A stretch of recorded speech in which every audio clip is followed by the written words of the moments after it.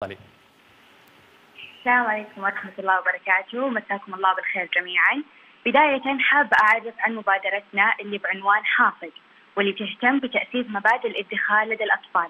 طبعا مثل ما نعرف الأطفال عايشين حياتهم بعشوائية ما يعرفون شيء اسمه إدخار ولا يعرفون أهميته للأسف بعض الوالدين يظنون أن أطفالهم مو قادرين على استيعاب هذا المفهوم أو أنهم مو بحاجة له بعمرهم الحالي. لكن في الحقيقة أنك تدرس مبدأ أو عادة طفلك من صغره أسهل بكثير من تعليمه في كبرة. وبما أن فئة الأطفال تشكل نسبة كبيرة من المجتمع صبينا تركيزنا عليهم وصار واجب علينا نأسس فيهم مبادئ الادخار. من هنا انطلقت فكرة تطبيق حافظ وهو عبارة عن تطبيق ادخاري يربط الوالدين بأبنائهم لوضع خطط ادخارية وإرسال مكافآت لهم بكل سهولة لتحفيزهم على الاستمرارية. يحتوي حافظ على العديد من المميزات اللي تجذب الأطفال. على سبيل المثال يوفر حافظ محفظة وبطاقة ادخارية تحتوي على المبلغ المدخر وما يقابلها من نقاط. يوجد فيه بيئة تنافسية تشاركية مع الإخوة والأصدقاء تتيح لهم مشاهدة تقدمهم الادخاري لتعزيز الحماس.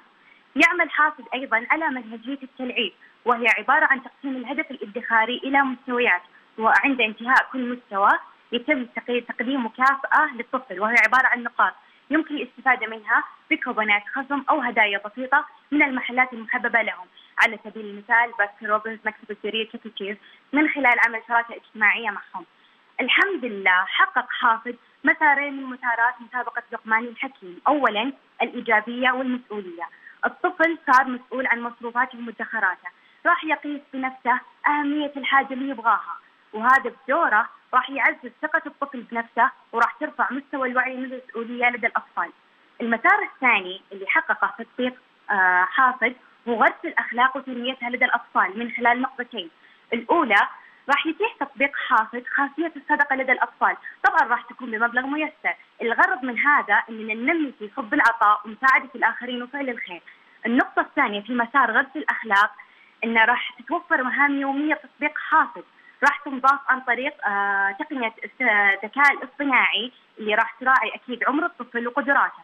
طبعا راح تنزل له مهام يومية تتوافق مع إمكانياته مثل سقيا العصافير، حفظ سورة ميسره من القرآن أو قراءة حديث وغيرها من المهام الدينية.